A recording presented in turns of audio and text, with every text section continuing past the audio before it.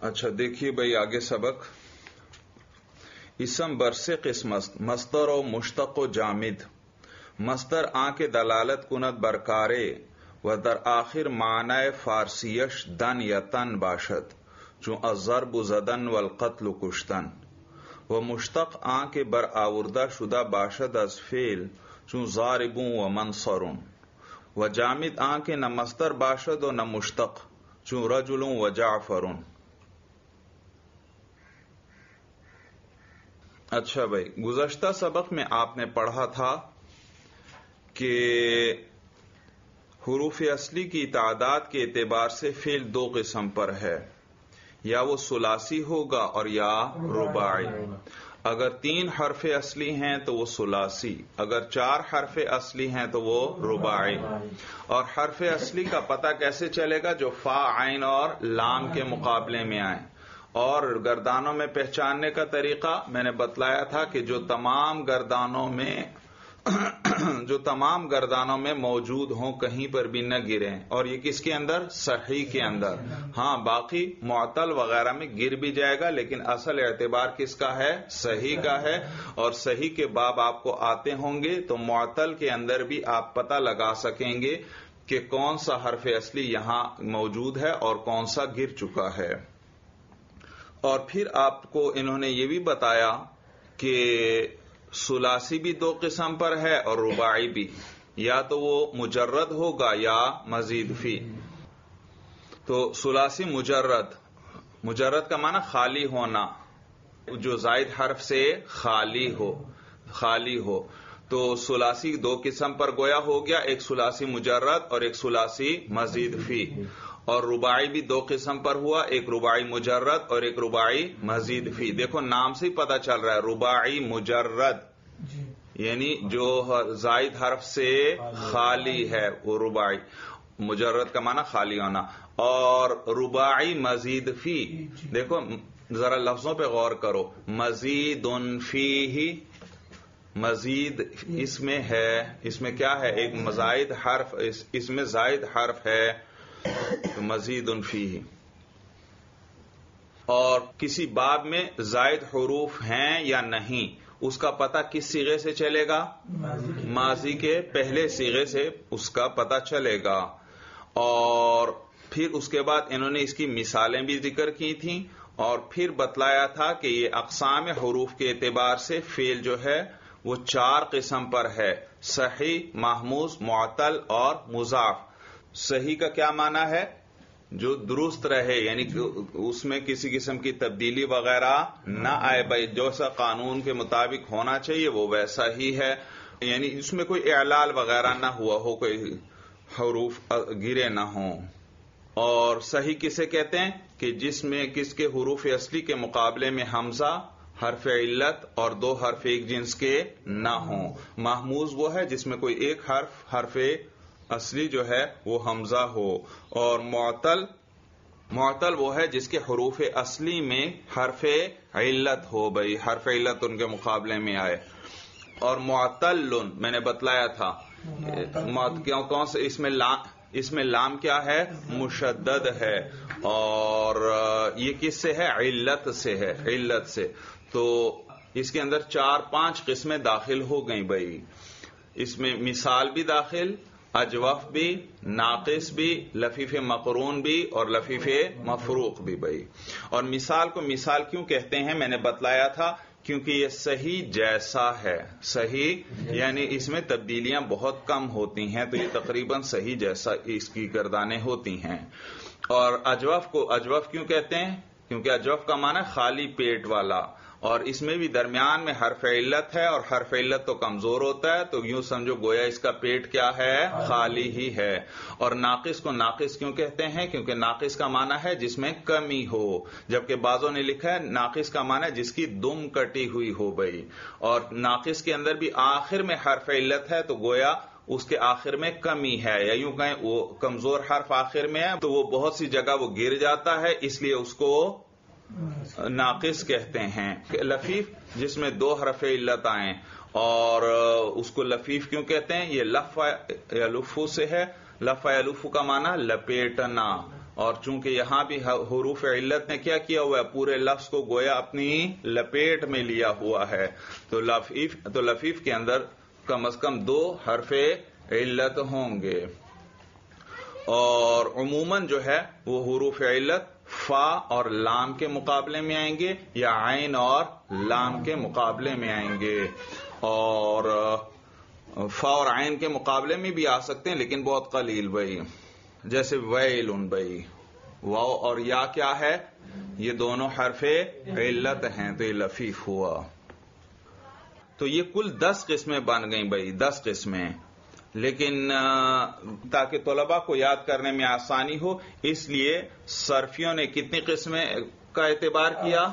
سات۔ کا اعتبار کیا۔ وہی دس جو ہیں ان کو سات کے اندر سمیٹ دیا بھائی۔ اور لفیف مقرون اور مفروق اس کو صرف لفیف کہہ دیا اس میں دونوں آ گئے۔ اور محمود الفا محمود العین اور محمود اللام کو صرف کیا کہہ دیا؟ محموز تو اس میں تینوں قسم کے محموز آ گئے۔ تو یہ تقسیم آسان بھی ہے یاد کرنے میں طلبا کے لیے۔ اب آگے دیکھیے، آگے بتلا رہے ہیں، کہتے ہیں اسم برس قسمست، مستر و مشتق و جامد۔ اچھا پہلے سمجھ لیں اس کو۔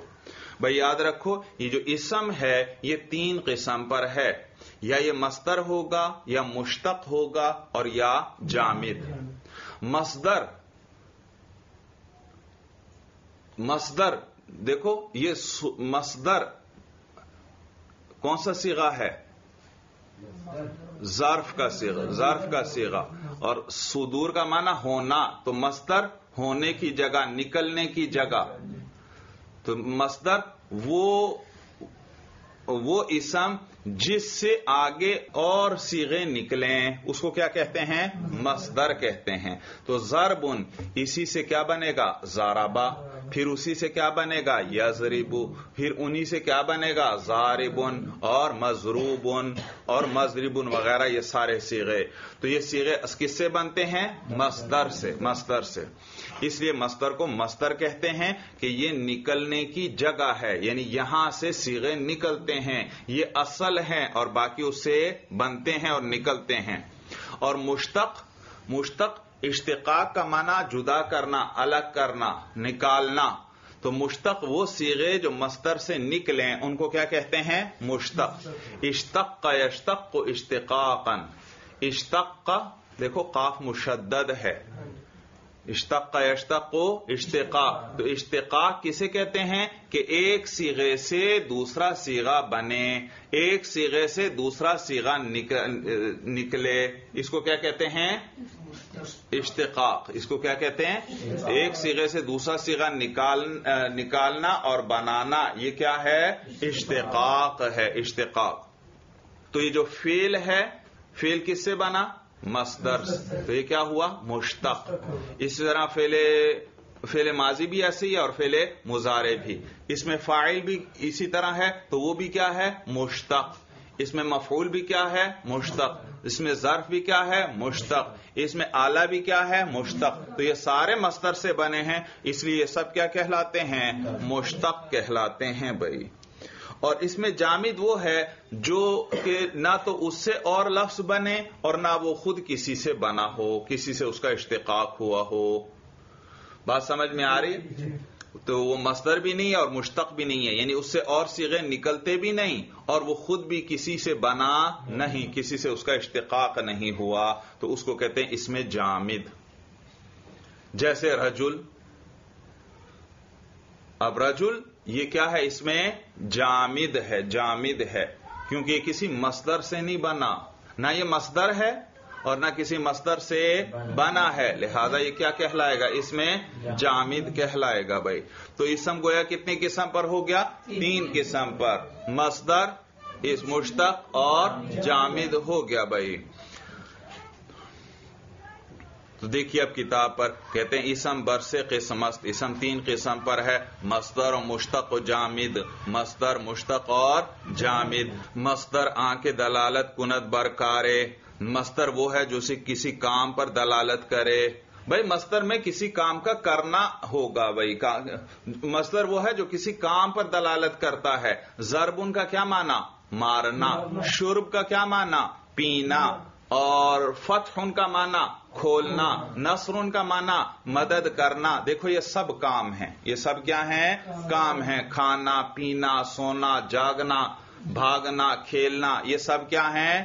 کام ہیں۔ تو مستر جو ہے وہ کسی کام پر دلالت کرتا ہے۔ بات سب کو سمجھ میں آ رہی ہے؟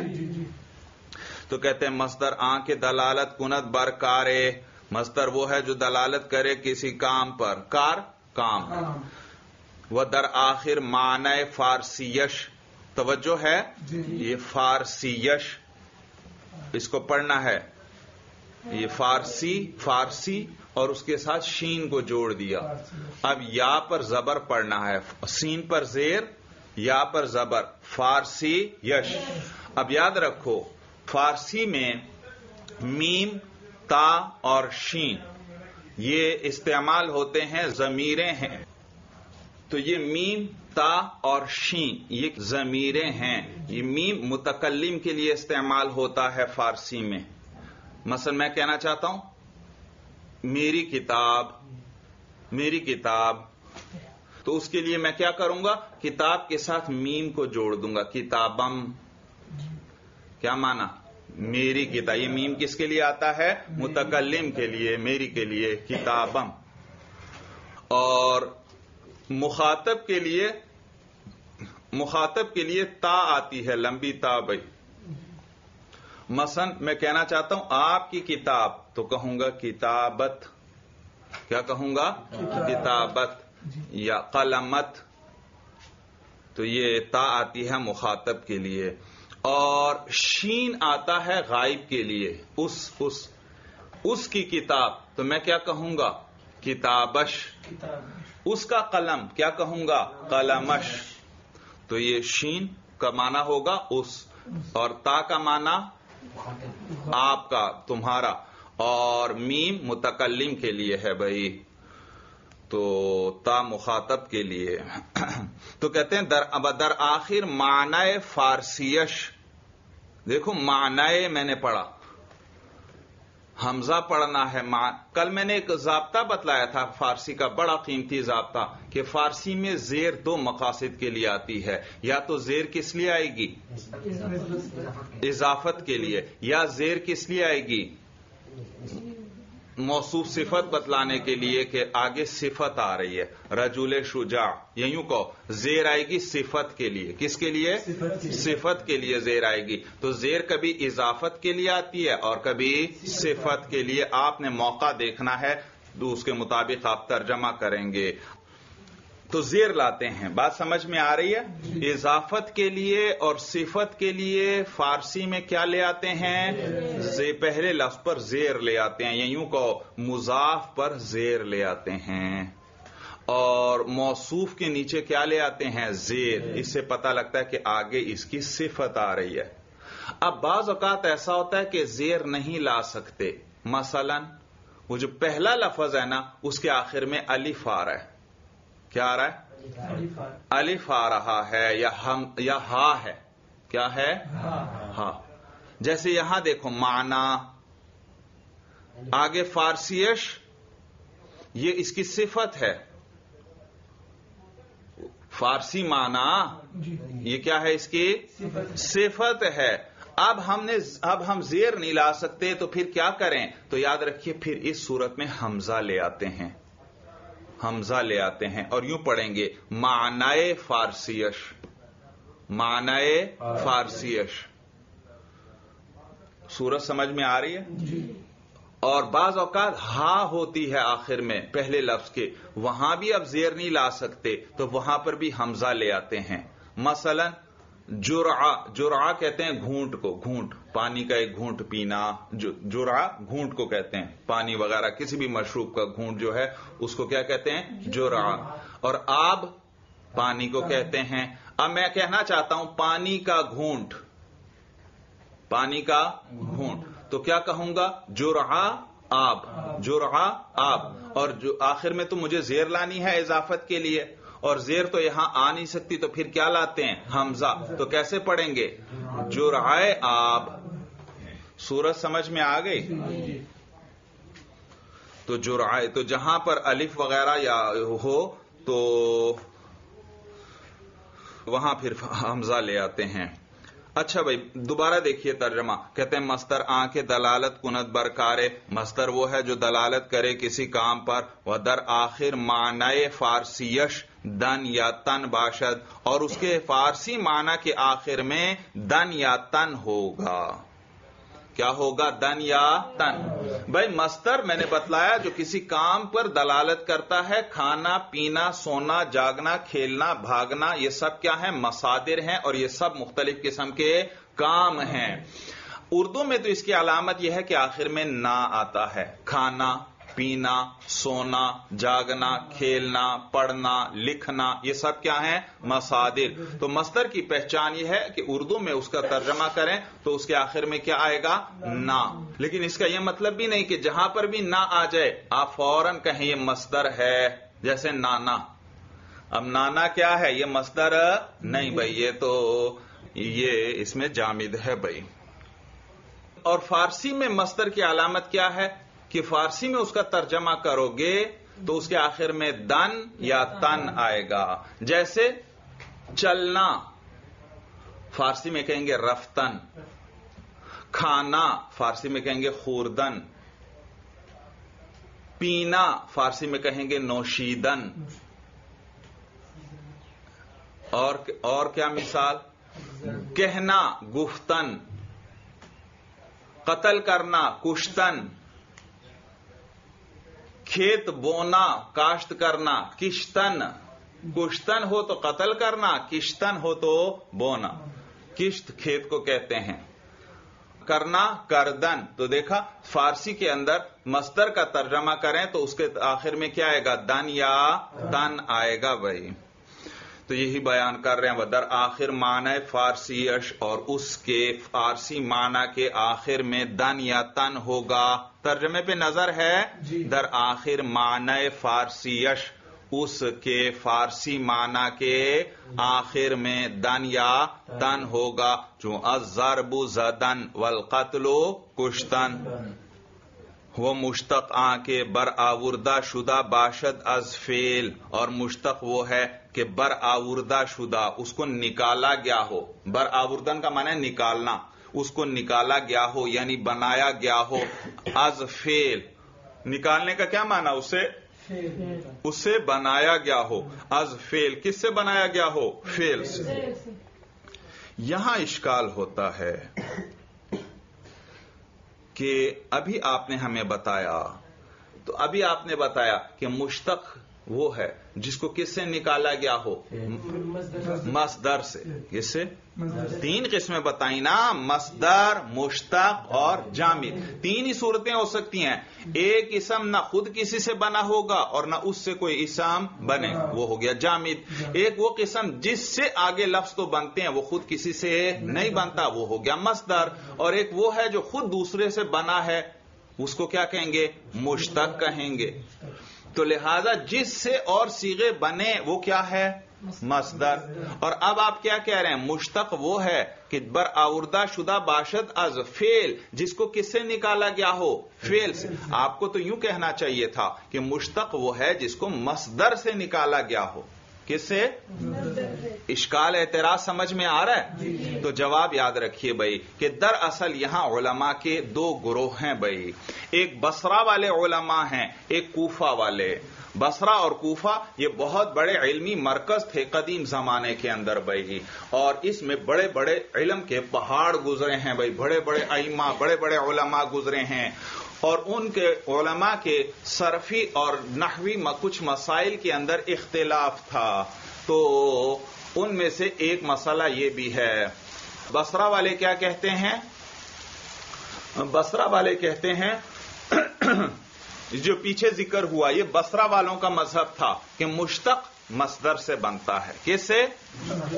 اور یہ جو ذکر کر رہے ہیں کہ مشتق فیل سے بنتا ہے فیل سے نکلتا ہے، یہ کوفہ والوں کا مذہب ذکر کر رہے ہیں۔ بات سمجھ میں آ رہی ہے؟ تو بس علماء دلائل کو دیکھتے ہیں، تو بات سمجھتے ہیں کہ ان کے دلائل قوی ہیں، لہذا وہ بسرا والوں کے مذہب کو ترجیح دے دیتے ہیں۔ اور بعض علماء کیا کرتے ہیں، کوفہ والوں کے دلائل پہ جب غور کرتے ہیں، تو ان کو وہ قوی نظر آتے ہیں، تو وہ ان کو ترجیح دے دیتے ہیں۔ تو مختلف علماء مختلف جانب گئے ہیں۔ کوئی کسی نے بسرا والوں کے مذہب کو ترجیح دی ہے اور کسی نے کوفہ والوں کے۔ تو یہ بہرحال جو پہلے تقسیم ذکر کی تھی کہ مستر مشتق اور جامد، یہ بسرا والوں کے مذہب پر تقسیم کی اور اب جو ذکر کر رہے ہیں کہ مشتق وہ ہے جس کو فیل سے نکالا گیا ہو، وہ کس کا مذہب ہے؟ کوفہ والوں کا۔ کوفہ والے کہتے ہیں کہ جو فیل ہے نا فیل اصل یہ ہے۔ بسرا والے کیا کہتے تھے؟ اصل کیا ہے؟ اصل مصدر ہے اور فیل وغیرہ اس سے مشتق ہیں۔ اور کوفہ والے کیا کہتے ہیں؟ فیل اصل ہے اور مستر اور باقی سیغے اس سے مشتق ہیں۔ بات سمجھ میں آ گئی؟ تو یہاں پر مصنف نے بسرا والوں کے مذہب کو ذکر کر دیا بھائی۔ ایک اور کی بات، اہم بات وہ بھی ذکر کر دوں۔ یہاں حاشیے میں دیا ہوا ہے، مصنف پر اعتراض ہوتا ہے کہ پیچھے آپ نے مذہب ذکر کیا تھا کس کا؟ بسرا والوں کا۔ اور یہاں مذہب آپ ذکر کس کا کر رہے ہیں؟ کوفہ والوں کا۔ اعتراض ہوتا ہے، یا تو ایک ایک ہی مذہب صاحب کا ذکر کرو۔ اور ایک جگہ ایک مذہب ذکر کر رہے ہیں، دوسری جگہ تو یہاں حاشیے والے لکھتے ہیں کہ پرانے نسخے میں مصنف نے اپنے ہاتھ سے یہاں حاشیے پر لکھا ہوا تھا۔ کیا ہاں لکھا ہوا تھا؟ یہ گیارہ نمبر حاشیہ ہے۔ گیارہ نمبر حاشیہ کہ این تقسیم بر مذہب بصریان است۔ یہ تقسیم بسرا والوں کے مذہب پر ہے۔ یہ گیارہ نمبر ہاشیا وہ جہاں سے ہم نے سبق شروع کیا ہے۔ اس نمبر سے قسم مستر و مشتق و جامد۔ اس پر لکھا ہوا ہے گیارہ نمبر؟ جی یہ گیارہ نمبر ہاشیا ہے اور یہ ہاشیا اگلے صفحے پر دیا ہوا ہے۔ اگلے صفحے کے ہاشیے میں دوسری سطر میں گیارہ نمبر۔ مل گیا؟ ہاں تو وہ جو تقسیم کی یہ کس کی تھی؟ بسرا والوں کی۔ ذہن میں یہ بات یاد رکھو، یہ تقسیم پیچھے کس کی کی؟ بسرا والوں کی۔ اور آگے کس کی کر رہے ہیں؟ تو سوال کہ یہاں کوفہ والوں کا مذہب بیان کر رہے ہو، تو پیچھے بسرا والوں کا مذہب کیوں بیان کیا؟ ایک کو ترجیح دیں، یا بسرا والے کو یا کوفہ والے کو۔ آپ دونوں کو ایک جگہ ایک ذکر کر رہے ہیں، دوسرے کو دوسری جگہ دوسرے کو۔ تو مصنف نے جو اپنے نسخہ جو ہاتھ سے لکھا تھا، اسی کے حاشیے پہ مصنف نے یہ بات لکھی تھی۔ کیا؟ مصنف نے لکھا تھا این تقسیم بر مذہب بسریان است کہ یہ جو میں نے تین قسمیں بنائی، اسم تین قسم پر ہے مستر مشتق اور جامد۔ یہ تقسیم کس کے مذہب کے مطابق ہے؟ بسرا والوں کے مذہب پر ہے۔ اتباع دیگر مصنفین نوشتہ شدہ اور مصنفوں کی پیروی کرتے ہوئے یہ لکھا گیا ہے۔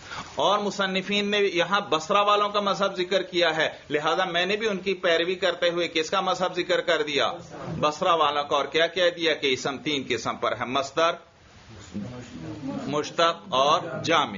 ورنہ آگے فرماتے مصنف، ورنہ بر مذہب تحقیق کے مذہب کوفیین است۔ لیکن تحقیقی مذہب کے مطابق جو کوفہ والوں کا ہے یعنی ان کا مذہب قوی ہے۔ ان کا مذہب کیا ہے؟ قوی ہے۔ ان کے نزدیک مستر ہم از مشتقات است. مستر بھی کس میں سے ہے؟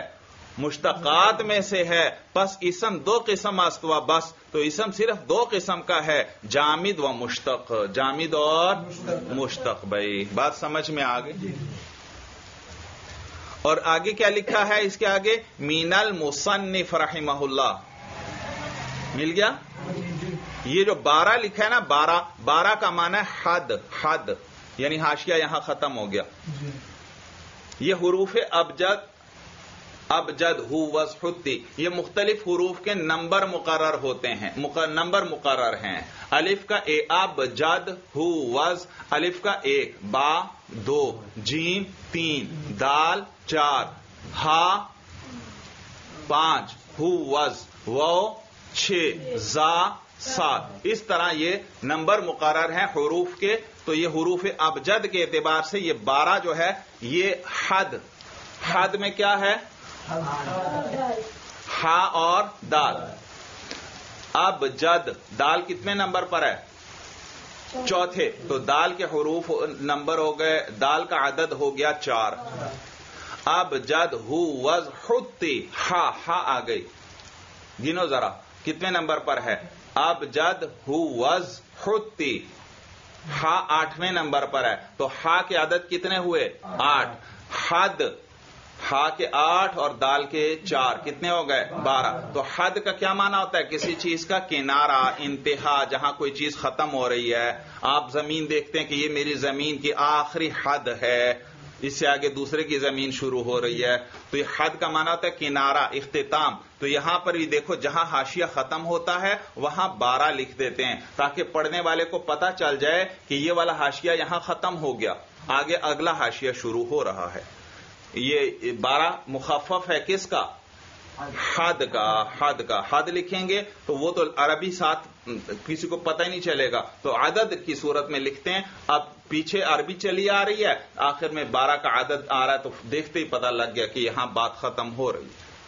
اور یہاں دیکھو انہوں نے کیا کہا؟ مین المصنف یہ کس کی طرف سے ہے؟ یہ حاشیہ مصنف رحمہ اللہ کی طرف سے ہے۔ یاد رکھو اس کو کہتے ہیں مینہیا کیا کہتے ہیں؟ ایک عام حاشیہ ہے۔ آپ دیکھو یہ کتاب کسی اور کی ہے اور حاشیہ کسی اور نے لکھا ہے، بعد میں کسی نے لکھا ہے۔ اور بعض اوقات مصنف کیا کرتا ہے، کتاب لکھ دیتا ہے، پھر کوئی چیز اس کے ذہن میں کہ یہ اس یہاں یہ بھی بیان ہونا چاہیے یہاں یہ بھی بیان ہونا چاہیے، وہ اصل کتاب میں شامل کرنے کے بجائے حاشیے پر ہی لکھ دیتا ہے۔ کیا کرتا ہے؟ حاشیے پر ہی لکھ دیتا ہے۔ تو یہ حاشیہ کس کی طرف سے ہے؟ مصنف کی طرف سے۔ تو اس کو کہتے ہیں مین ہو مین ہو یہ بھی اسی کی طرف سے ہے۔ کس کی طرف سے؟ مصنف کی طرف سے۔ تو چونکہ یہ بھی مین ہو کس کی طرف سے ہے؟ مصنف کی طرف سے۔ تو اس کو پھر کہتے ہیں مینہیا مینہیا کیا کہتے ہیں؟ مینہیا تو ہاشیا اور مینہیا مینہیا بھی ہاشیا ہوتا ہے اور ہاشیا بھی جو کتاب کے، جس میں کتاب کے معنی بیان ہوتے ہیں، اس کی شرح کی جاتی ہے۔ تو لیکن فرق کیا ہے؟ مینہیا، کون سے حاشیے کو کہتے ہیں جو کس کی طرف سے ہو؟ مصنف کی طرف سے۔ اور یہ مینہیا کا لفظ کس سے بنا ہے؟ مین ہو سے۔ کس سے بنا ہے؟ مین ہو سے بھائی۔ تو مصنف نے کیا کہا؟ کہ اسم دو قسم پر ہے، جامد اور مشتق۔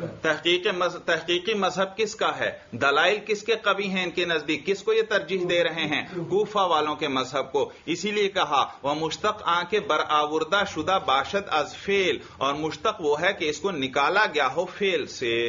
کس سے نکالا گیا ہو؟ فیل سے۔ تو لہذا حاشی میں کیا فرمایا؟ کہ اسم بس دو ہی قسم پر ہے، جامد اور مشتق۔ مصدر بھی کس میں داخل ہو گیا؟ مشتق. تو اسم ان کے نزدیک صرف کتنی قسم پر ہے؟ جامد اور مشتق. اس پر آپ کے ذہنوں میں اشکال آئے گا کہ پھر بھی تین قسمیں بن گئیں. ایک تو جامد جو نہ خود کسی سے بنا ہو، نہ کوئی اس سے بنے. اور ایک مشتق وہ ہے جو دوسروں سے بنا ہو. تو تیسرا فیل بھی تو رہ گیا، جامد، مشتق اور فیل جواب یہ کہ فیل تو فیل ہے، بات اسم کی چل رہی ہے۔ بات کس کی چل رہی ہے؟ اسم کی چل رہی ہے۔ تو اسم تو دو ہی ہو گئے، ایک جامد ہوگا یا مشتق ہوگا۔ فیل فیل تو اسم کے مقابلے میں ہے بھائی۔ فیل اسم ہے؟ نہیں بھائی، فیل تو اسم کے مقابلے میں ہے۔ تو اسم تو کتنی قسم کا ہوا صرف؟ دو ہی۔ جامد ہوگا یا مشتق ہوگا۔ مستر جو تھا وہ ختم ہو گیا، کیونکہ مستر تو در اصل کون ہے؟ فیل. ہے یعنی اس سے سیغے نکلتے ہیں۔ بات سمجھ میں آ رہی ہے لیکن وہ تو فیل ہے۔ اور تقسیم کس کی کر رہے ہیں؟ اسم کی۔ تو اسم صرف دو ہی قسم کا ہو گیا جامد اور مشتق بھائی تو کہتے ہیں وہ مشتق آ کے بر آوردہ شدہ باشد از فیل اور مشتق وہ ہے کہ اس کو نکالا گیا ہو فیل سے۔ چون زارب و منصر زارب۔ یہ کس سے بنا؟ زارابا سے۔ فیل کو انہوں نے کیا بنا دیا؟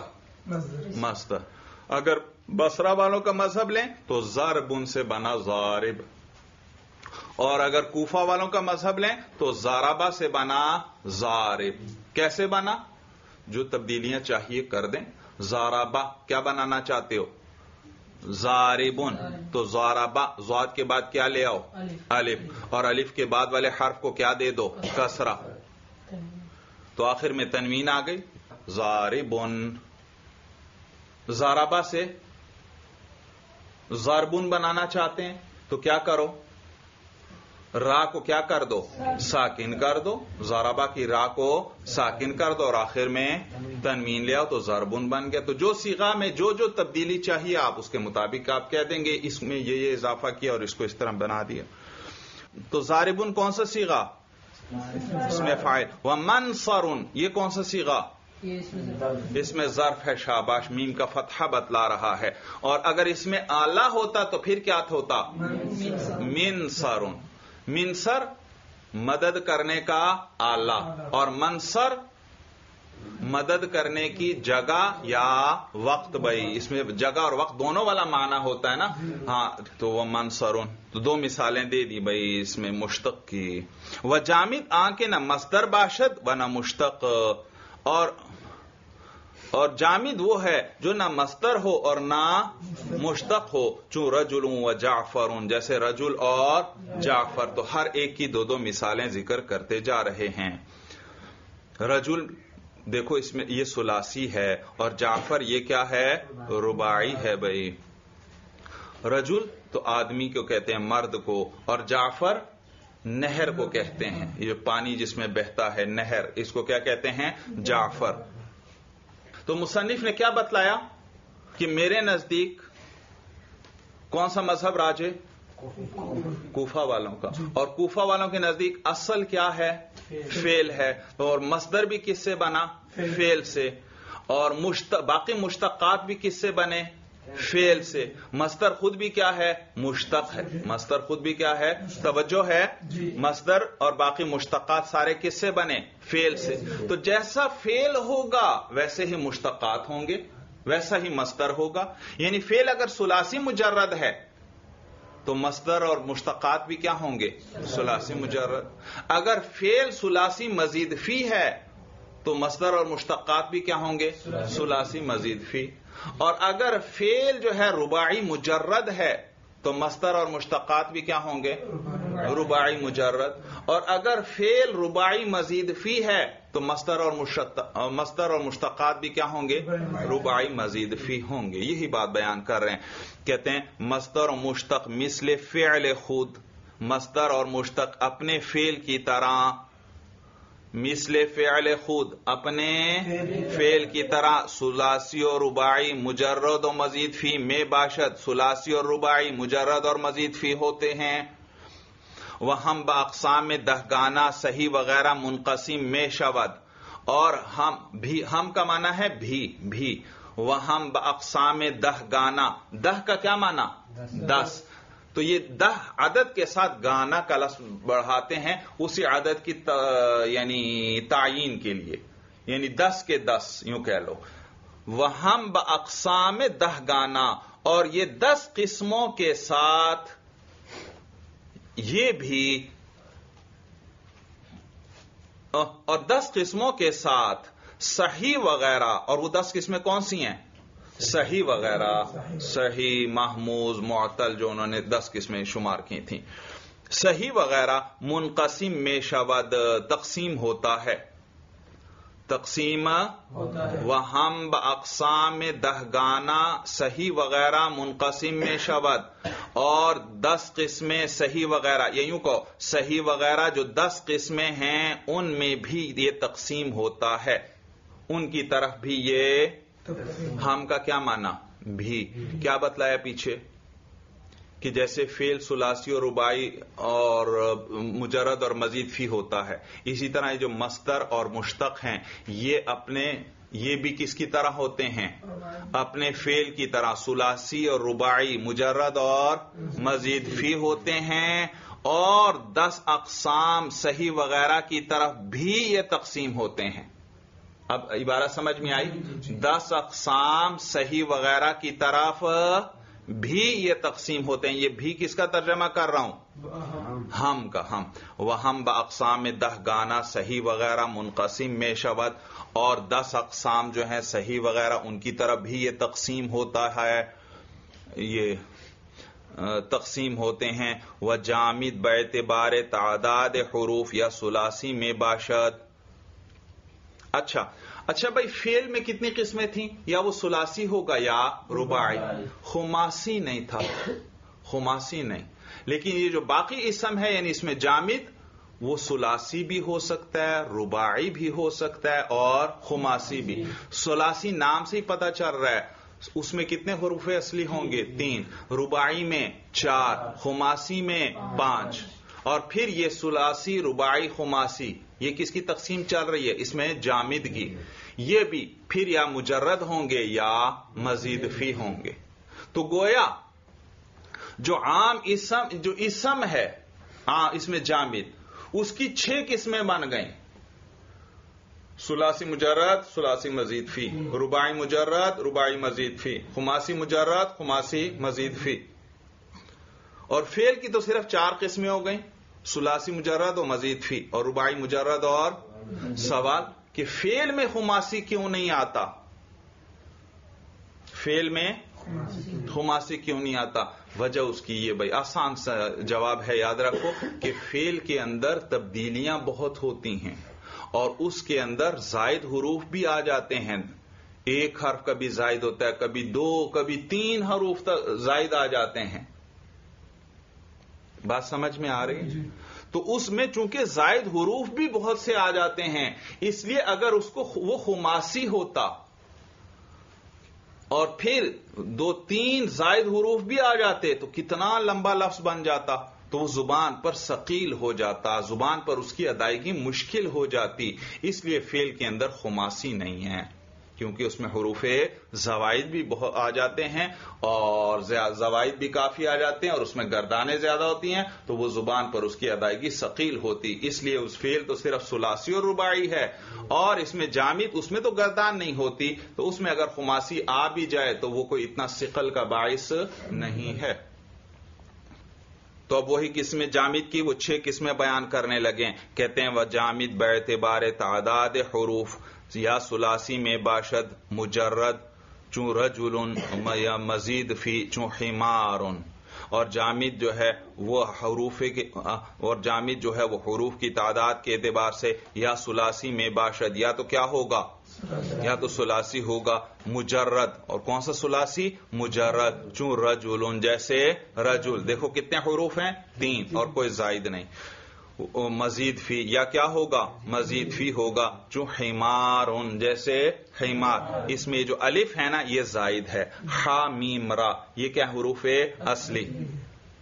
حمار گدے کو کہتے ہیں، یا ربائی مجرد، یا وہ اس میں جامد کیا ہوگا؟ ربائی مجرد ہوگا۔ چون جعفر جیسے جعفر جعفر کسے کہتے ہیں؟ نہر کو، نہر ندی نالے وغیرہ کو کہتے ہیں۔ وہ مزید فی، یا وہ ربائی کیا ہوگا؟ مزید فی ہوگا۔ چون قرتاس قرتاس کاغذ کو کہتے ہیں۔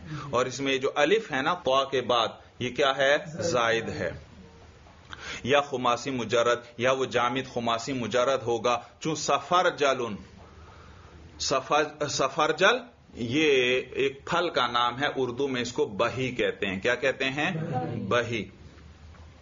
تو یہ کوئی سیب وغیرہ کی طرح کا پھل ہے، تو اسے سفر جل کہتے ہیں۔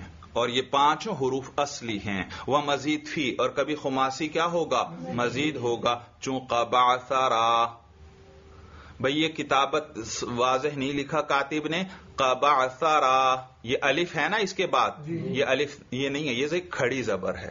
اور یہ جو دوسری یا لکھی تو بہتر تھا کہ دوسری یا لکھتے بھائی چھوٹی یا لکھتے۔ اور اس پر کیا ڈالتے تھے کھڑی زبر۔ تو کتنے حروف ہو گئے؟ قاف با عین سا را اور یا جو کس سے بدل چکی ہے؟ الف سے الف سے۔ تو کتنے ہو گئے؟ چھ۔ تو ان چھ میں سے پانچ حروف اصلی ہیں پہلے اور یہ جو آخر میں الف آ رہا ہے یہ زائد ہے بھائی۔ تو یہ کیا ہوا؟ خماسی مزید فی۔ قباسرا کہتے ہیں موٹے اونٹ کو بھائی۔ اونٹ ہو بھائی خوب صحت مند موٹا تازہ اونٹ ہو۔ اس کو کیا کہتے ہیں؟ قباسرا و بے اعتبار انواع حروف بقسام دہ گانا منقسم میں شود اور یہ جو جامد ہے، یہ بھی انواع حروف۔ انواع کا کیا مانا اقسام اقسام۔ حروف کی اقسام کے اعتبار سے یہ بھی دس قسموں میں تقسیم ہوتا ہے۔ کس میں؟ بات سمجھ میں آ رہی ہے؟ اس میں جامد کی کتنی قسمیں بتا دیں؟ چھ۔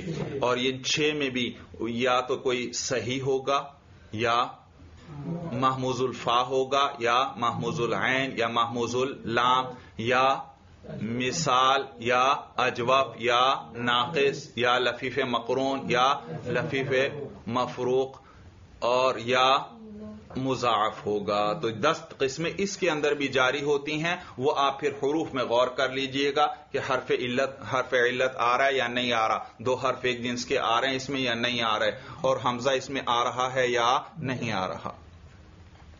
تو کہہ رہے ہیں وہ بعتبار انواع حروف باقسام دہ گانا منقسم میں شبت اور حروف کی اقسام کے اعتبار سے یہ دس قسموں میں تقسیم ہوتا ہے۔ یہ اس میں جامد۔ چون فعل تصریفات بسیار میں دارت چونکہ فیل جو ہے تصریفات تصریفات کا معنی ہے گردانے گردانے، چونکہ فیل گردانے جو ہیں بسیار میں دارت بسیار کا معنی زیادہ، بہت۔ چونکہ فیل میں بہت گردانے ہیں وہ اسم کم اور اسم میں کم وہ حرف مطلقن ندارت اور حرف جو ہے وہ مطلقن گردانے نہیں رکھتا یعنی اس میں گردانے نہیں ہیں۔ لہذا نظر صرفی بیشتر متعلق بفیل است لہذا صرفی کی نظر، جو علم صرف کا ماہر ہو، تو اس صرفی کی جو نظر ہوتی ہے یعنی اس کی توجہ جو ہوتی ہے، بیشتر، زیادہ تر متعلق بفیل است کس کے ساتھ متعلق ہوتی ہے؟ فیل تو فیل میں کہتے ہیں چونکہ گردانے زیادہ ہیں اسم میں کم ہیں اور حرف میں سرے سے ہیں ہی نہیں۔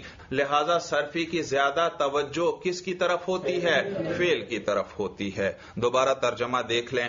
چون فیل تصریفات بسیار میں دارت چونکہ فیل جو ہے وہ بہت زیادہ گردانے رکھتا ہے یعنی یوں کہیں، چونکہ فیل کی بہت زیادہ گردانے ہوتی ہیں، وہ اسم کم اور اسم کی کم، وہ حرف مطلقاً نہ دارت اور حرف کی مطلقاً نہیں ہوتی، لہذا نظر صرفی بیشتر متعلق ب فیل است، اور لہذا صرفی کی نظر زیادہ تر فیل سے متعلق ہوتی ہے۔ آگے دیکھیے بھائی، باب اول در بیان سیغ مشتمل بر دو فصل۔ باب اول، انہوں نے آپ کو بتلایا تھا کہ یہ رسالہ مشتمل ہے ایک مقدمے پر، چار باب پر اور ایک خاتمے پر۔ تو اب کیا شروع ہو رہا ہے؟ مقدمہ ختم ہوا۔ مقدمے میں انہوں نے کیا کیا آپ کو اسم فیل اور حرف کی پہچان کروائی اور ان کی قسمیں بیان کر دیں۔ قسمیں بیان کر دیں۔ اب فیل کے بارے میں بحث کرنے لگے ہیں۔ فیل کے بارے میں بحث تو پہلا باب، کہتے ہیں باب اول، در بیان سیغ۔ یہ سیغ پڑھنا اس کو، سواد کے نیچے زیر اور یا پر زبر۔ یہ جمع ہے سیغا کی۔ سیغا کی جمع کیا آتی ہے؟ سیغ۔ باب اول، پہلا باب، در بیان سیغ، سیغوں کے بیان میں مشتمل بر دو فصل۔ اور یہ کتنی فصلوں پر مشتمل ہے؟ دو فصلوں پر مشتمل ہے۔ فصل اول، پہلی فصل۔ اچھا بھائی، اب گردانے شروع ہو رہی ہیں۔ یاد رکھو، یہاں جتنی گردانے آئیں گی، ہم وہ اپنے ابواب الصرف کی گردانے دہراتے رہیں گے۔ ہر کتاب کا گردانوں کا اپنا طریقہ ہوتا ہے۔ بات سمجھ میں آ رہی ہے؟ ہر کتاب والے کا گردانوں کا اپنا طریقہ ہوتا ہے۔ پھر خصوصاً صرف صغیر کے اندر عام گردانے تو میں تو اتنا فرق نہیں ہوتا ماضی مظاہرے وغیرہ میں لیکن خصوصاً صرف صغیر کے اندر تو ہر کتاب والے کا اپنا انداز ہے۔ کسی کی صرف صغیر بڑی مختصر اور کسی کی بڑی طویل ہوتی ہے۔ آپ ایک دفعہ ابواب الصرف یاد کر چکے ہیں اور وہ بہترین گردانے ہیں۔ نہ بہت مختصر ہیں اور نہ بہت زیادہ طویل ہیں۔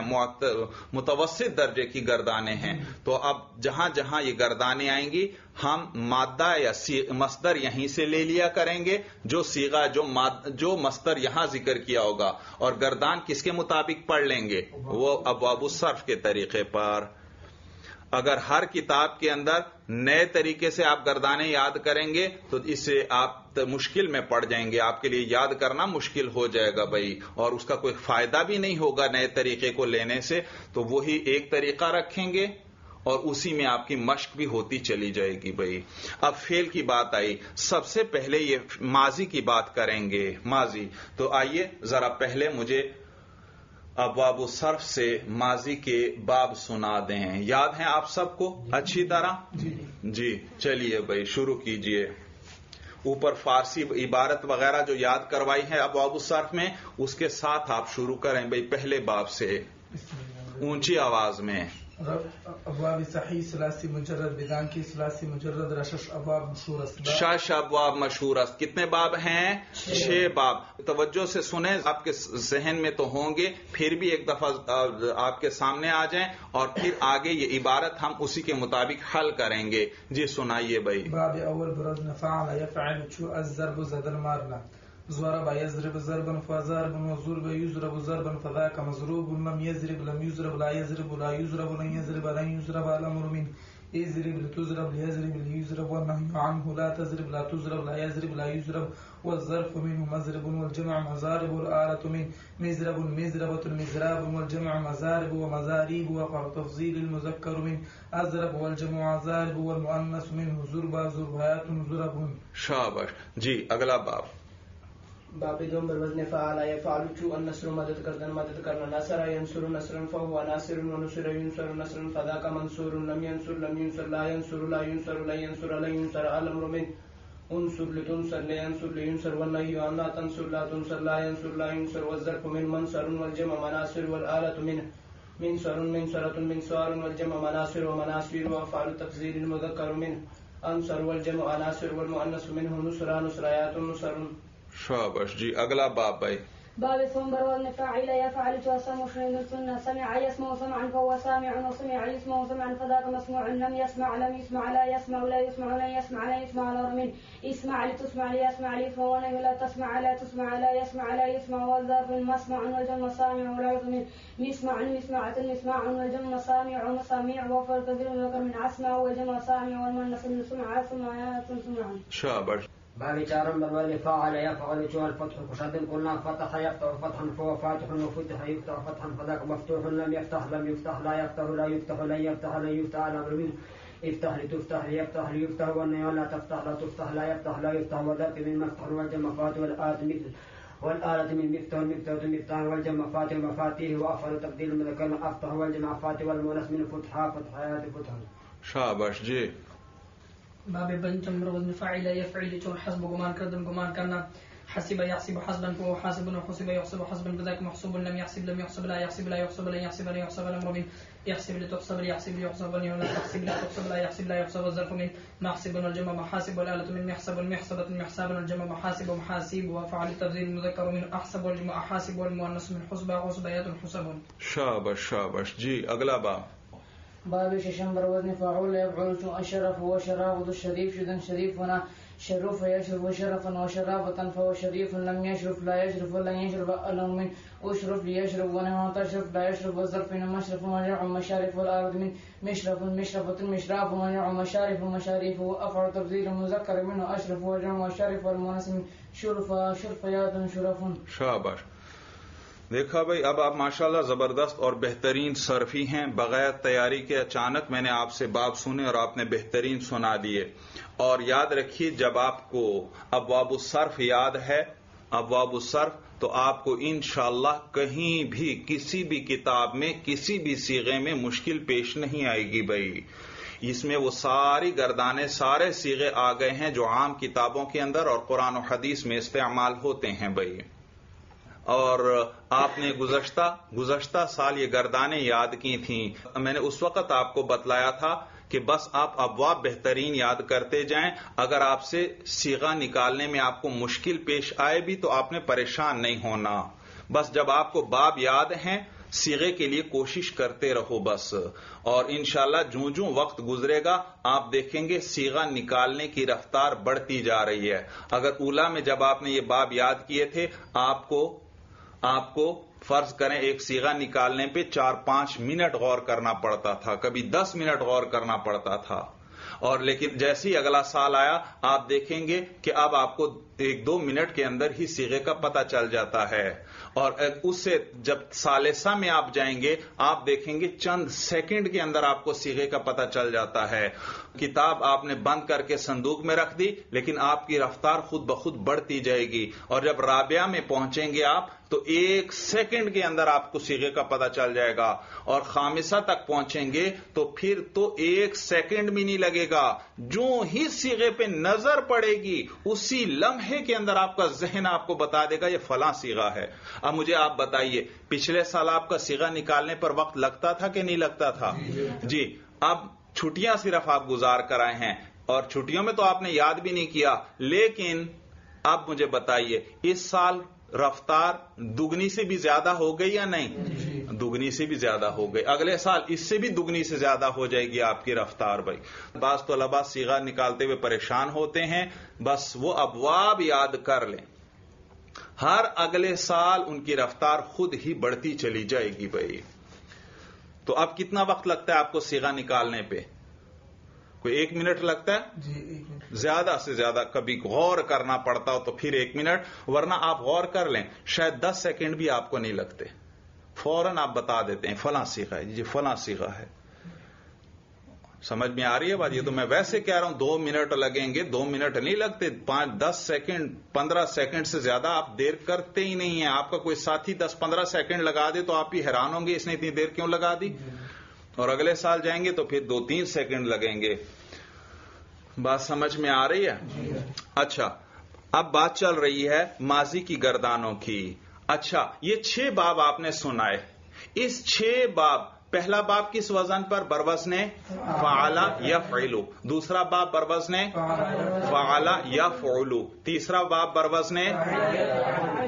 تیسرا باب بروز نے فعلا یا فعلو چوتھا باب بروز نے فعلا یا فعلو اور پانچواں باب بروز نے فعلا یا فعلو اور پانچ چھٹا باب فا فعلا یا فعلو اب مجھے بتائیے یہ جو ماضی ہے، فعلا، اس میں عین پر کتنی صورتیں آئیں؟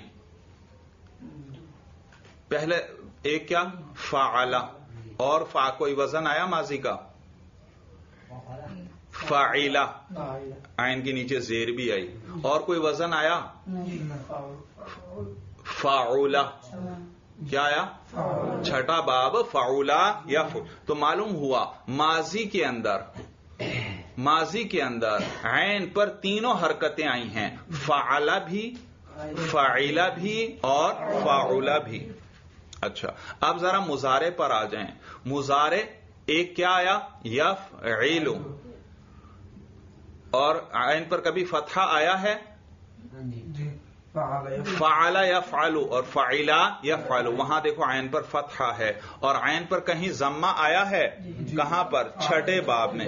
تو معلوم ہوا مزارے کے اندر بھی عین پر تینوں حرکتیں آئی ہیں. یا فعلو یا فعلو اور یا فعولو سورج سمجھ میں آ رہی ہے؟ اب ماضی میں بھی تین صورتیں.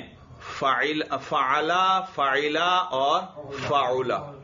مزارے میں بھی تینوں صورتیں اب ماضی کو ایک ماضی کو پکڑیں۔ فعلا۔ اس فعلا کے ساتھ کتنے قسم کے مزارے آئے ہیں؟ فعلا۔ فعلا۔ یا فعیلو ذرا یزربو آیا یا نہیں؟ تو فعلا کے ساتھ یا بھی آیا۔ اور نصرہ میں فعلا یا فعولو دیکھو، اس فعلا کے ساتھ یا فعولو بھی آیا۔ اور چوتھا باب فعلا یا فعلو باب منع یا باب فتح تو معلوم ہوا فعلا جو ماضی ہے اس کے ساتھ تینوں قسم کے مظاہرے آئے ہیں۔ توجہ ہے؟ فعلا جو ماضی ہے اس کے ساتھ تینوں قسم کے مظاہرے ہیں۔ یا فعلو بھی یا فعلو بھی اور یا فعلو بھی۔ اب دوسری ماضی پکڑو۔ فعلا ماضی کی آئین کے نیچے زیر ہو۔ فعلا اس فعلا کے ساتھ کتنی قسم کے مظاہرے آئے ہیں؟ فعلا کے ساتھ دو آئے ہیں۔ فعلا ایک سمیعہ۔ سمیعہ یسمعو فعلا یا فعلو۔ اور ایک فعلا یا فعیلو حسیبہ یا تو فعلا کے ساتھ دو مظاہرے آئے ہیں۔ کون کون سے؟ یا فعیلو بھی آیا ہے اور یا فعالو بھی آیا ہے۔ اور فعولا کے ساتھ کتنے مظاہرے آئے ہیں؟ فعولا ایک آیا ہے صرف یا فعلو صرف شروفہ میں فعولا آیا۔ اور کہیں فعولا آیا؟ تو کل چھ باب ہو گئے۔ یہ اب کتاب والے یہی چھ باب گنوائیں گے، لیکن کیسے؟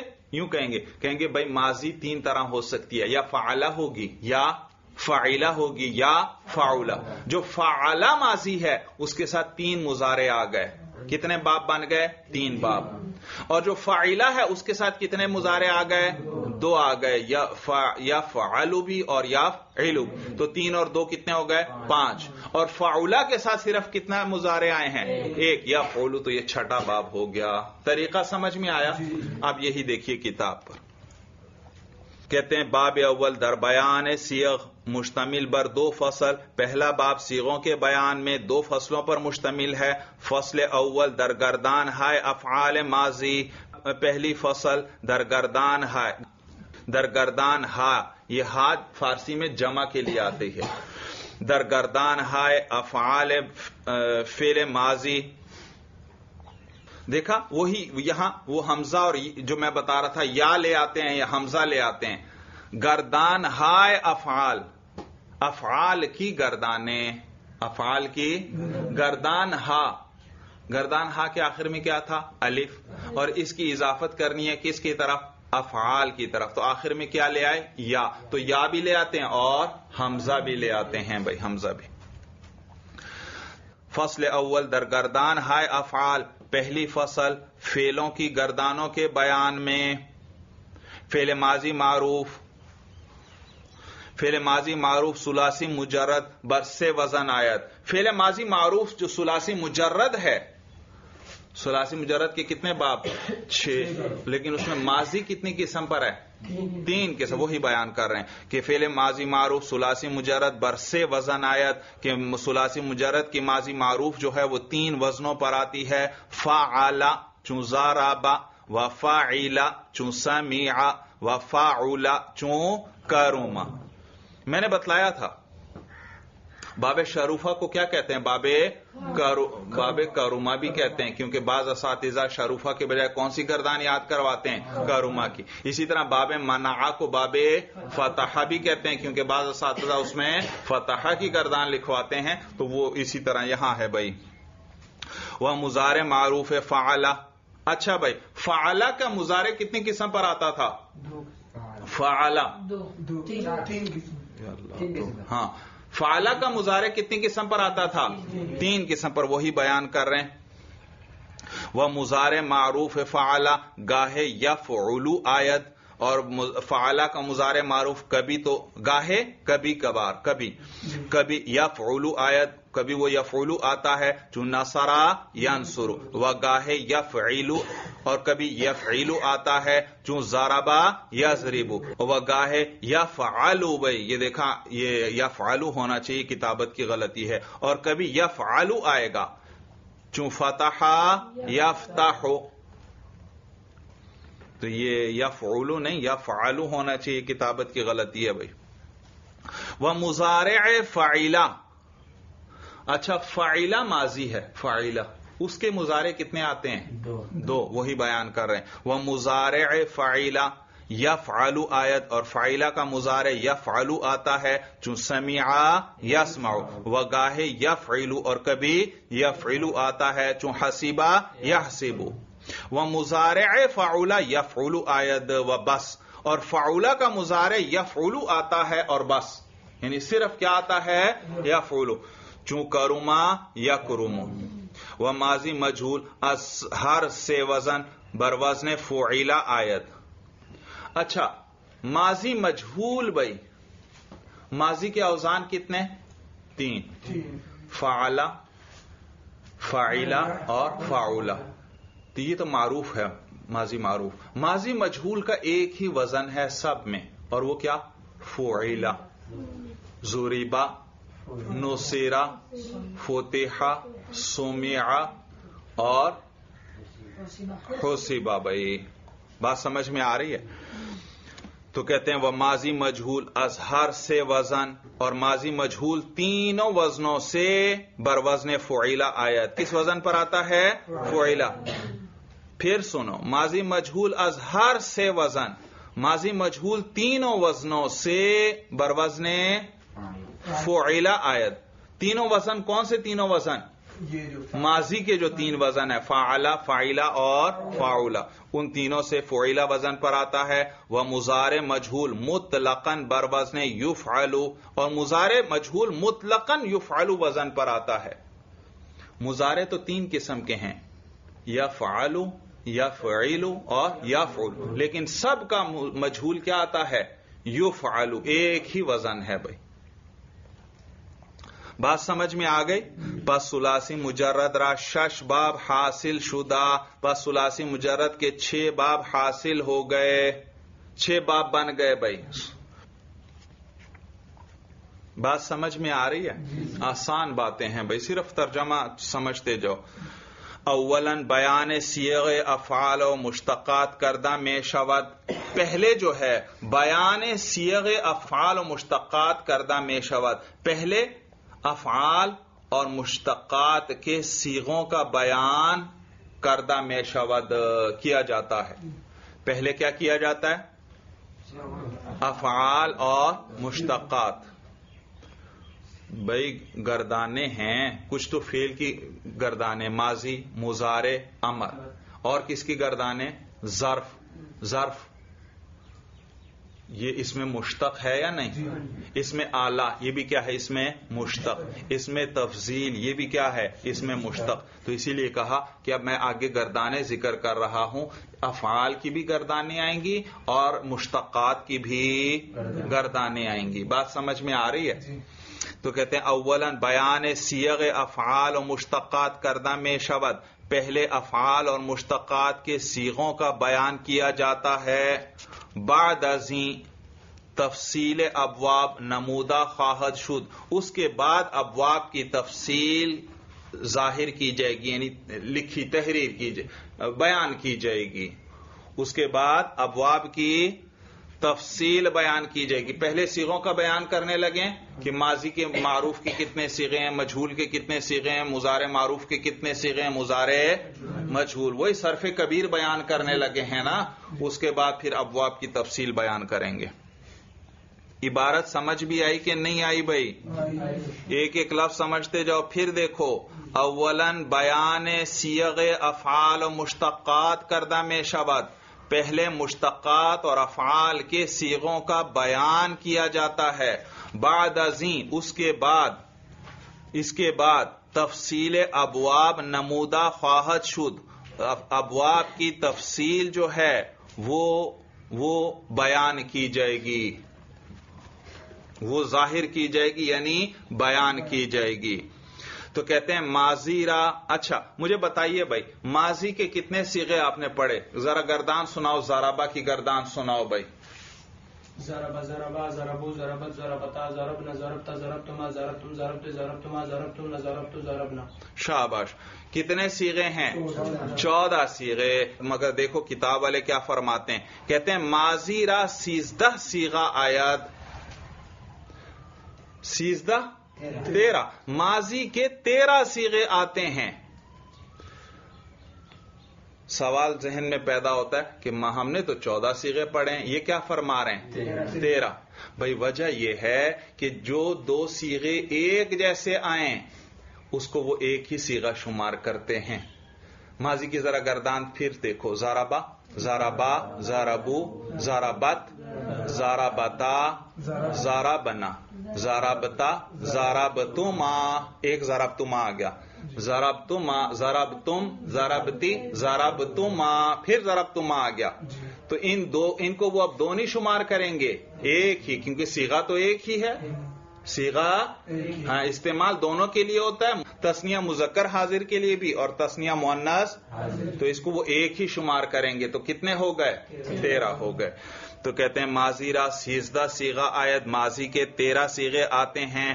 اس بات فیل ماضی معروف فیل ماضی معروف مثبت کی گردان کرنے لگے ہیں۔ اس بات نفی نہیں ہے۔ اس بات فیل ماضی معروف۔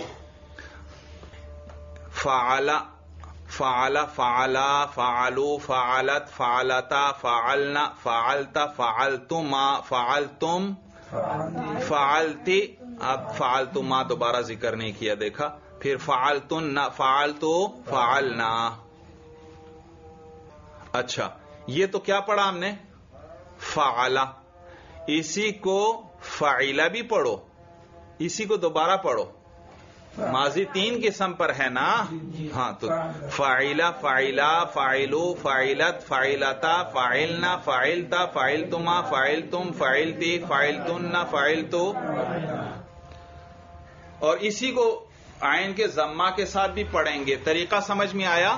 تو گویا ایک گردان لکھ کر تین کا کام انہوں نے لے لیا کہ عین کے پر تینوں حرکتیں پڑھو۔ دیکھیے خود بتلا رہے ہیں۔ بحرکات سلاس عین عین کی تین حرکتوں کے ساتھ سے سیغ اولا۔ اچھا اب مجھے بتائیے بھائی یہ جو گردان میں چودہ سیغے ہوتے ہیں، ان میں سے پہلے چھ کس کے ہوتے ہیں؟ غائب کے۔ اس غائب میں سے چھ میں سے پہلے تین کس کے؟ مذکر غائب کے۔ اگلے تین مونس غائب کے۔ اس سے اگلے تین، مذکر حاضر۔ اس سے اگلے تین مونس حاضر۔ اور آخری دو، متکلم، واحد متکلم اور جمع متکلم، یہی بیان کر رہے ہیں۔ کہتے ہیں سے سیغہ اولا برائے مذکر غائب است۔ پہلے تین سیغے جو ہیں مذکر غائب کے لیے ہیں۔ اول واحد دوم تسنیا سوم جمع۔ پہلا واحد تین غائب کے سیغے ہیں نا تو پہلا کس کا؟ واحد۔ دوسرا دوم تسنیا سوم جمع۔ یعنی پہلا واحد مذکر غائب، دوسرا تسنیا مذکر غائب، تیسرا جمع مذکر غائب۔ یہی بیان کر رہے ہیں، اول واحد، دوم تسنیا سوم جمع۔ پہلا واحد، دوسرا تسنیا تیسرا جمع۔ بعد ازاں سے سیغا مؤنس غائب است۔ اس کے بعد تین سیغے مؤنس غائب کے ہیں۔ بہمو وضع۔ بہمو وضع۔ اسی طرح سے جیسے ابھی بیان ہوا۔ کیا؟ پہلا، واحد، دوسرا تسنیا تیسرا، جمع۔ تو بہمو وضع، با الگ ہے، ہمو وضع، اسی طرح۔ اور اس کو ہمی بھی پڑھتے ہیں۔ بہمی وضع۔ تو ہمو اور ہمی کا کیا مانا اسی طرح اسی طرح۔ تو کہتے ہیں بعد ازاں سے سیغا مونس غائب بس اس کے بعد تین سیغے مونس غائب کے ہیں بہمو وضع اسی طریقے پر بہمو وضع اسی طریقے پر بعد ازاں سے سیغا مذکر حاضر است اس کے بعد تین سیغے مذکر حاضر ہے لیکن تسنیا آ برائے مونس حاضر نیز آیت تین سیغے کس کے ہیں؟ تین سیغے مذکر حاضر کے۔ لیکن ان تین میں سے جو تسنیا ہے، وہ معنس کے لیے بھی استعمال ہوتا ہے، یہی بیان کر رہے ہیں۔ دوبارہ دیکھیں، کہتے ہیں، بعد ازاں سے سیگا مذکر حاضر است۔ اس کے بعد تین سیغے مذکر حاضر کے ہیں، لیکن تسنیا لیکن تسنیا دیکھا یہاں حمزہ میں لے آیا۔ لیکن تسنیا آ برائے مونس حاضر نیز آیت، لیکن اس کا جو تسنیا ہے وہ مونس حاضر کے لیے بھی آتا ہے۔ بعد ازاں دو سیغا مونس حاضر اس کے بعد دو سیغے مونس حاضر کے ہیں۔ ایک تو وہی پچھلا تھا نا، اس کی وجہ سے اب تین ہو گئے کل۔ اول واحد و دوم جمع پہلا واحد کے لیے اور دوسرا جمع کے لیے۔ بعد ازاں دو سیغے متکلم اس کے بعد دو سیغے متکلم کے ہیں۔ اول برا بھائی متکلم کے جو دو سیغے ہیں۔ آزریب نہیں ماضی لاؤ۔ زارب۔ تو یہ واحد متکلم کے لیے ہے۔ چاہے مذکر ہو چاہے مونس یہی بیان کر رہے ہیں۔ اول برائے واحد مذکر و مونس ہر دو۔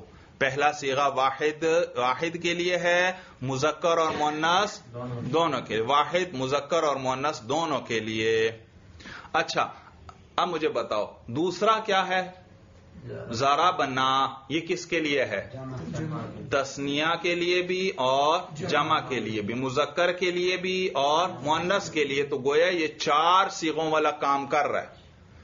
تسنیہ مذکر متکلم اور تسنیہ مؤنس متکلم اور جمع مذکر متکلم اور جمع مؤنس متکلم۔ چاروں والا کام کر رہا ہے تو یہی بیان کر رہے ہیں۔ کہتے ہیں دوم برائے تسنیہ مذکر و معنس دوسرا تسنیہ مذکر اور معنس و جمع مذکر اور معنس اور جم تسنیہ میں بھی مذکر اور معنس دونوں اور جمع میں بھی مذکر مونس دونوں۔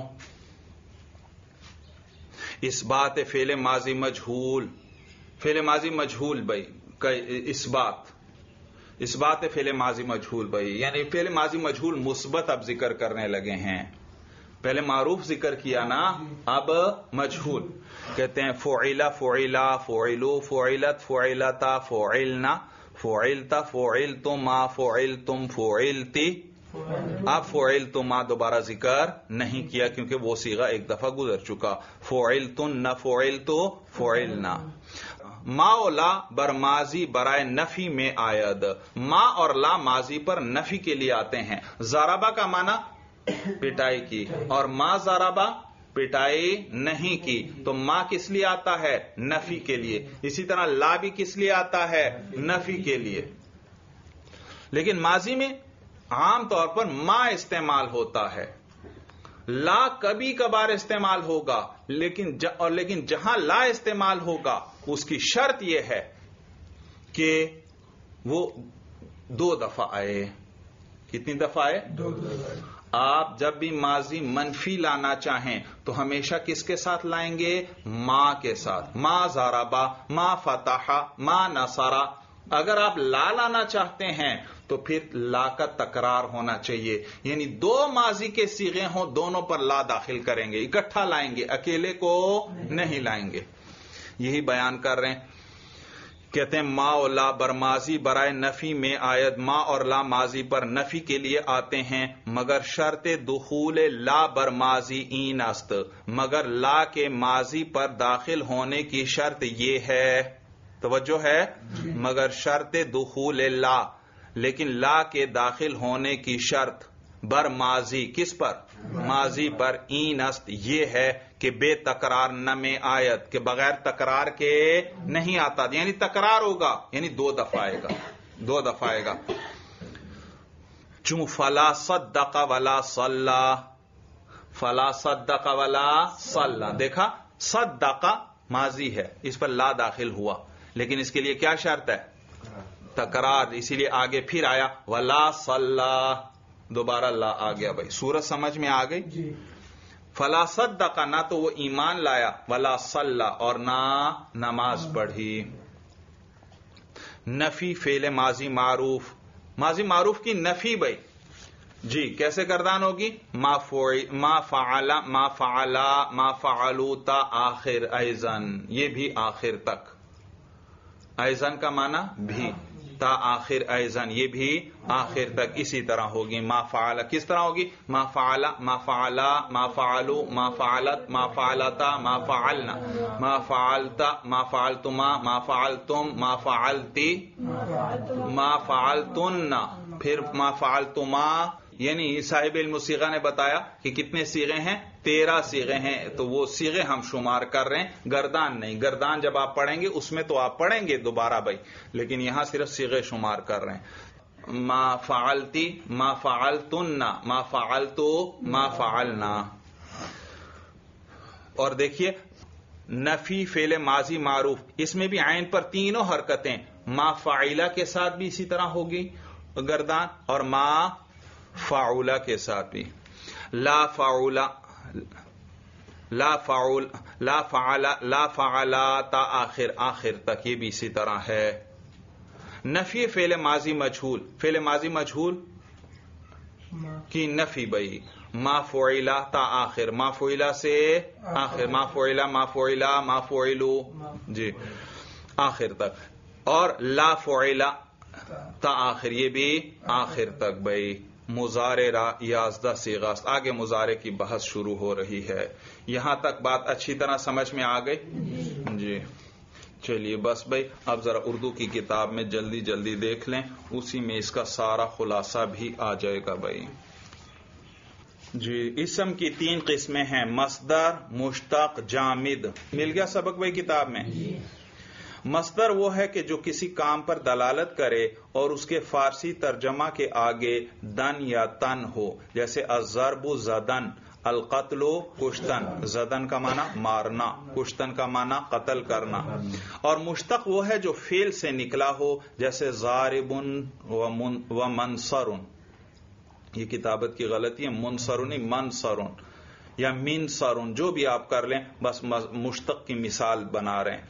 اور جامد وہ ہے کہ جو نہ مستر ہو اور نہ مشتق، جیسے رجل و جعفرون مصدر اور مشتق بھی اپنے فیل کی طرح سلاسی رباعی مجرد اور مزید فی ہوتے ہیں۔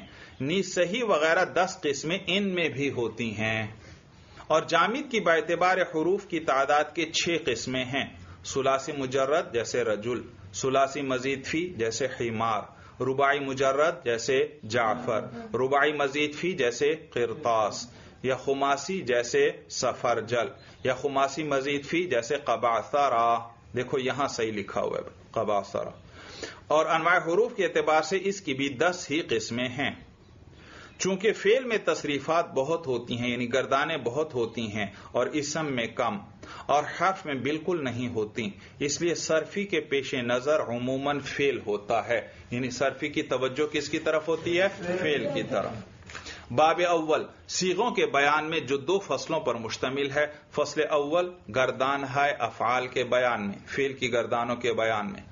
فیل ماضی معروف سلاسی مجرد تین وزن پر آتا ہے۔ فعلا جیسے ذرابا اور فعلا جیسے سمیع اور فعولا جیسے کرما اور فعلا کا مزار معروف کبھی یفعلو آتا ہے، جیسے نصرہ ینصرو۔ اور کبھی یفعلو جیسے ذرابا یا اور کبھی یفعلو جیسے فتح یفتح اور فعلا کا مزار یفعلو آتا ہے، جیسے سمیعہ یسما اور کبھی یفعلو بھی آ جاتا ہے جیسے حسیبہ یحسب اور فعولہ کا مظاہرے صرف یفعلو ہی آتا ہے جیسے کروما یکرم اور تینوں وزنوں کا ماضی مجھول فعیلا کے وزن پر۔